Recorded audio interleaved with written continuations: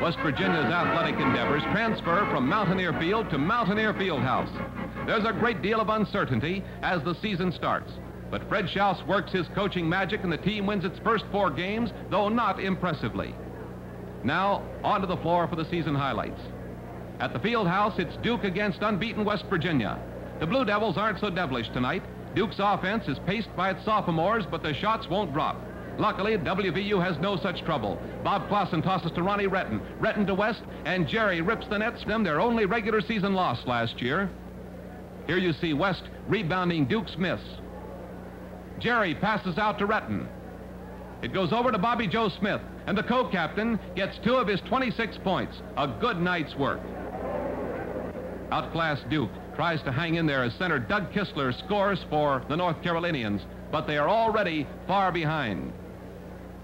Again, Smitty takes the ball. He dribbles into the lane and gets two more for the Mountaineers. The crowd loves every point of it. Howard Hurt tries for Duke.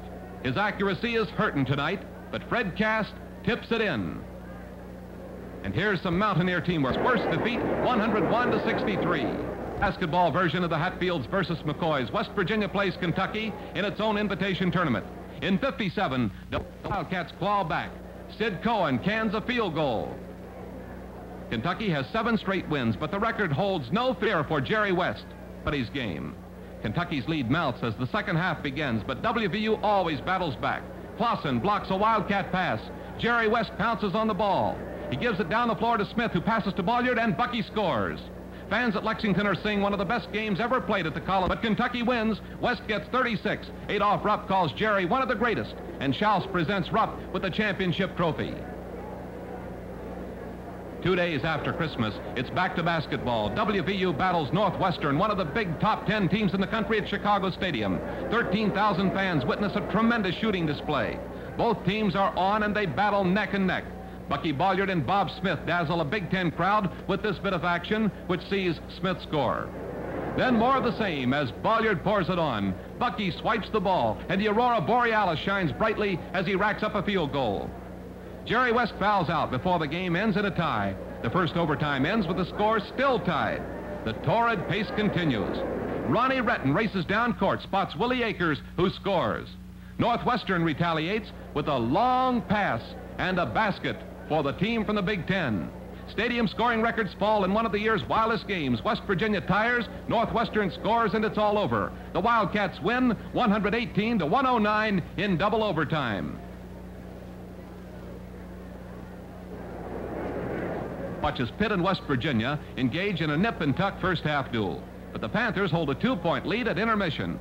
Then West Virginia engineers a comeback. West takes a pass from Akers, drives and scores.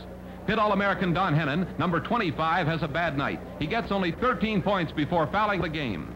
Akers is all over the court. He passes to Bolyard. Bucky fakes beautifully, passes to Clousson, and Bob lays it in.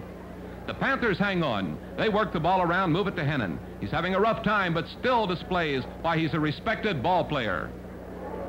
West Virginia's fast break features Smith and West. Jerry gets only 16 points, but these two are executed with West typical finesse. Defensively, Willie Akers picks the Panthers to pieces. The game gets very rough as West Virginia forges ahead. Bucky Bolyard leads the Mountaineers with 22 points in a fine floor game, such as this bounce pass to West. WVU wins it, and the ancient athletic warfare ends temporarily with a handshake. There's a fine crowd at Morgantown for the Holy Cross game, and millions more are watching on television. This is the first nationally televised sports event ever to originate in the state. West rebounds a Holy Cross miss, fires it to Smith, and Smitty feeds Bolyard for the score. But the Mountaineers are behind, as they have been in their last four games with a 10-game win streak in danger. West is swiping the ball. He teams up with Ronnie Retton to go down and score for the West Virginia Mountaineers. Watch them go.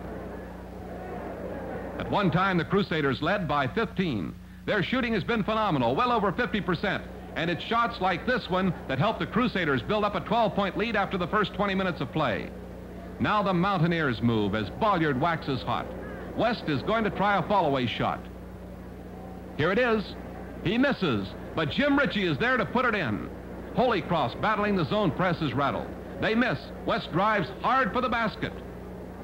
Watch him shovel past to Smith. There it goes. Smitty scores. West finishes with 36 to lead West Virginia to its fifth come from behind victory.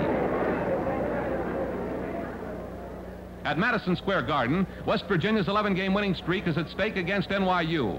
With a 7 and 6 record, the New Yorkers are definite underdogs. For a change, West Virginia takes an early lead. Bob Smith leads the way to a scoring advantage. The Violets tie the score on occasion, but never gain the lead despite some great shooting. Smitty has his best night as a collegian with 29 points and a fine performance in general. He sets up this two-hand jumper by Bucky Bolyard. And it's West Virginia leading by six points at halftime. Jerry West is recovering from the flu, but manages still to score 20 points with a display of beautiful shots. A miss by NYU gives New Yorkers a look at West Virginia's attack. Akers tosses down court to West. Jerry feeds him ends with a tie game. Trying to regain the first half lead that disappeared, West Virginia fights back. Smith to Retton. Retton over to Joe Posh and back to Ronnie, who feeds Smitty for the score. But the efforts aren't enough. NYU stops WVU's 11-game streak 72 to 70 in overtime. A packed house sees West Virginia's final regular season game. It's against always rugged George Washington. GW misses. Another try is blocked by Willie Akers. And the Mountaineers gallop. Clousson passes out. Bolyard gives it to Lee Patrone. WVU misfires and the Colonials gain control, only to lose it to West, who scores for West Virginia. Later, more fireworks for the fans. Bucky Bolyard, always exciting to watch, breaks down court, spots West, passes to Jerry, and Cabin Creek's pride gets two more. It's a slim halftime lead for WVU. West led the first half scoring, and he continues his fine work in the second half. Now, this is a good GW club. They lead during much of the game. Lee Patrone gets 19, but Jerry's 35 is high for the evening. It's West Virginia's 47th straight Southern Conference win and 33rd straight at the field house, winding up the regular season with a record of 22 wins and four defeats. Now, Coach Fred Schaus can take time to worry about the tournaments that are still ahead. WVU will battle William and Mary Conference Tournament semifinals. This is nothing like the Mountaineers' rout of Davidson in the first game. The tall Indians keep West Virginia hustling. Jerry West picks up two points at feet constantly. Again, smooth floor work by Bucky Bolyard and Jim Ritchie sets the scoring stage for Jerry. West of West Virginia gets two more of his 38 points for the night. The Indians have some fine players, too. One of them, Big Jeff Cohen. Here you see Cohen hitting on a real beauty. Then a rare occurrence settles West Virginia fans deep in gloom. Jerry West comes down the floor, takes the ball for a score. But on the play, a foul is called. It's West's fifth personal. He leaves with five minutes still to play. The crowd applauds his performance. Later, gloom disappears as sophomore Lee Patrone steps into the breach to score. It's Patrone's jump shot which eventually clinches the game. A pulse-stirring victory for West Virginia.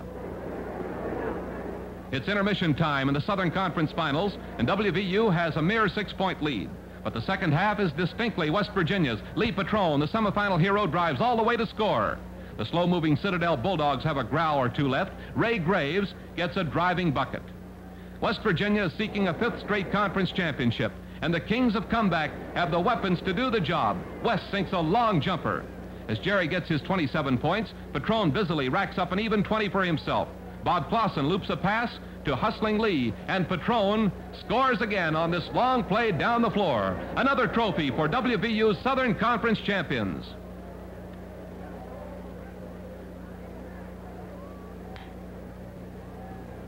Another tournament, another final, West Virginia versus Boston U. The NCAA Eastern Regional Crown is at stake at Charlotte, North Carolina, and Jerry West gets things underway with a score. The surprising Terriers knocked off Navy after the Middies had shocked North Carolina.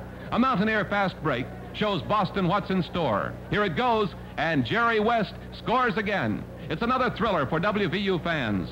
BU tries a fast break against West Virginia, but Bolyard's sneak attack gets the ball. Bucky races back down the floor toward the basket. He passes off to Bob Smith, and Smitty hits for two points for West Virginia. WVU got to the finals with a miraculous comeback win over a rugged St. Joe's team from Philadelphia, and Boston looks as tough. All-American honors are being heaped on Jerry West, and here is a very good reason why. Watch Jerry. Late in the game, the underrated boys from Boston continue to make a battle of it, but they begin missing. Willie Akers rebounds, feeds Smith, who passes to Bolyard. Bucky holds the ball, then back over to Smitty again for two points. Another win, another championship, and on to Louisville. An absolute sellout as WVU meets Louisville. The Mountaineers are seeking their 22nd win in their last 23 games, and Jerry West gives them a two-point push toward that goal. Louisville's Cardinals are on their home floor and they're a slight favorite, but the Gold and Blue look tremendous in building a first half lead. Here's a goal from the corner by West. A big halftime margin for West Virginia. Louisville beat Kentucky and Michigan State, but the Cardinals are out of their class tonight. Akers rebounds to set the fuse for another explosive goal by everyone's All-American Jerry West. It's the end of the line for Louisville's Rags to Riches Club. The Cardinals are swamped. West gets 38 points and plays a deadly floor game. He feeds a two-pointer to Jim Ritchie. The Louisville fans are stunned. West Virginians are jubilant. The route is on as Ronnie Retton, Bob Smith, and West combine talents. Finally, a feed to Jerry, and he powers down the lane for another score. WVU's smashing triumph puts it in the championship game. The national championship is at stake as West Virginia gets the opening tip against California. These teams have beaten everyone in their paths. Bob Smith misses, but the dazzling Jerry West follows up to score. Tension is the keynote as Smitty takes control. He dribbles skillfully, works the ball to Jerry, and the incomparable West does it again. But West Virginia blows a 10-point lead to the deliberate Californians, and with Fitzpatrick and Dalton in the lead, the Bears go in front. Dalton scores on a jumper. At, at the half, California leads by six. West Virginia's attack is hampered as West picks up three quick personal fouls. But co-captain Smith nabs two points with a sparkling shot. California's lead mounts to 13 points, then higher as Dalton hits again. The valiant Mountaineers climb back into contention with scores such as this by Patrone. Cal leads just one point. Following an enemy score, Retton grabs the ball, feeds Akers, and Willie scores. The crowd is in a frenzy, and so is the state of West Virginia. Seconds to go. Cal misses a foul shot.